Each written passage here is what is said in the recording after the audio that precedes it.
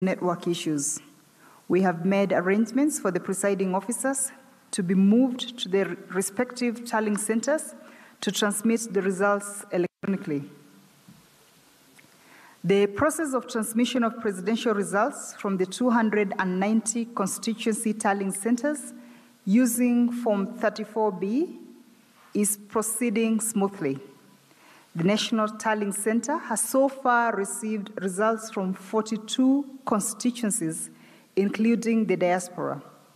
The additional constituencies to the earlier announced 30 are Mwingi West, Nakuru Town West, Magarini, Kasarani, Kuresoi South, Rangwe, Mukurweini, Budalangi, Bahati, Ugenya, Kipipiri, and the five countries in the diaspora that is Burundi, Rwanda, Uganda, Tanzania, and South Africa. Just to recall that South Africa has one polling station and Tanzania has two polling stations.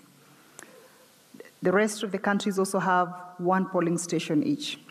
As we have briefed before, the Commission aims at making the process of the collection of Form 34Bs here at the National Tallying Center transparent and efficient.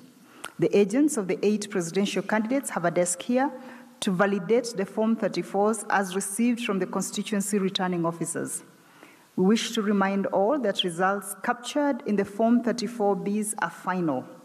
The role of the National Tallying Center is to authenticate the origin, tally, and declare the winner of the presidential race.